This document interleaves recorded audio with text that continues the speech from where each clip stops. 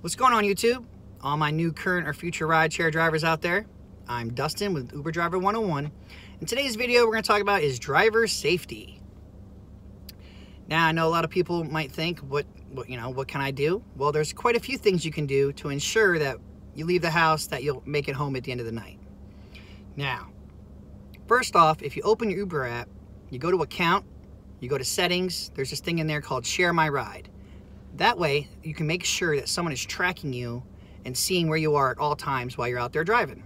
I know iPhone has Find My iPhone, and of course Android, I'm sure there's other apps out there that you can use, but make sure you're doing this. Have a phone mount. Okay, a phone mount is a safety issue for a couple different reasons. In some states, it's you know illegal. You have to be hands-free while you're out there driving. You want to make sure you're not having to look down, look up, left, right, whatever, and you know while you're driving on the road and you can keep an eye on your passengers if you already have the phone mounted in a certain spot. Dash cameras. Okay, now I know this can be tricky sometimes because you have to make sure you follow whatever your local regulations are for your state on whether it's one party or two party consent.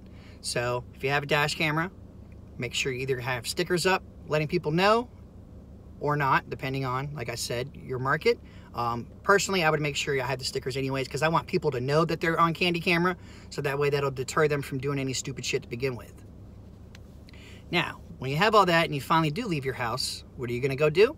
You're going to go drive. Now, you don't want to just go drive around aimlessly, of course, because you're wasting gas, putting extra miles on your vehicle, which, yes, are tax write-offs at the end of the year.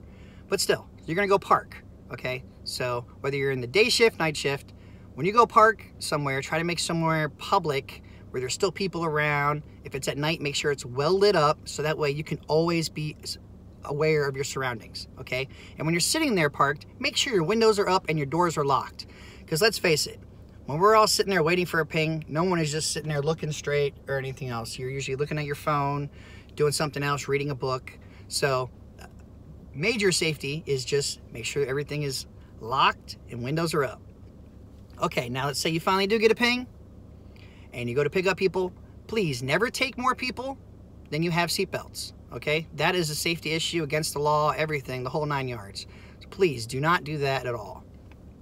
If you do pick up, when you do pick up people, make sure it is not minors. Okay, I know this can be difficult because younger people look older and of course they have, you know, the app. Some people have their own credit cards their own account and all that crap. And, you know, it is a headache for us drivers, but please do not take minors because the safety issue there is they can report you saying anything at all. And, you know, technically they weren't supposed to be in your car anyway. So you could be in a whole lot of hurt, even if you have a dash cam.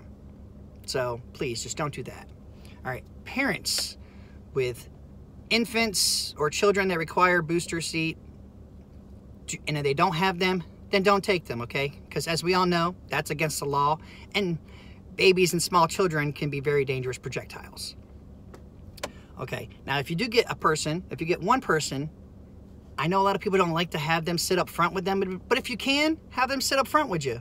It make, might make conversation easier or whatever, but that way you you can see what they're doing at all times. If not, just try not to have them sit behind you. If they do, you can ask them respectfully to go ahead and please move over. If they can't do something like that so easily, you can just cancel at any time because always follow your gut on and anything when you're out there driving.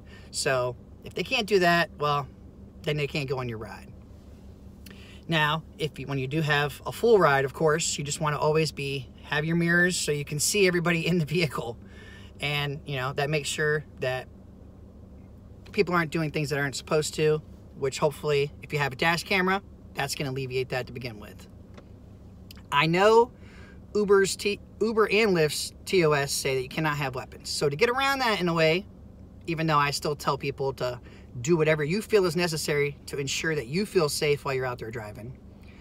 Carry a screwdriver, uh, one of those Maglite flashlights, a little hammer, anything, okay? Because those are tools and they can't tell you that those are weapons. Well, I hope this video was helpful and informative to everybody.